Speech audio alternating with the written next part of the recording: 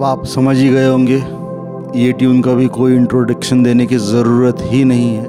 It is our national anthem इसका tutorial अगर आपको सीखना होगा तो मेरे यूट्यूब चैनल पे that is Manish Murekar guitar tutorial आप इस पे इसका ट्यूटोरियल सीख सकते हैं। जय हिंद, वंदे मातरम।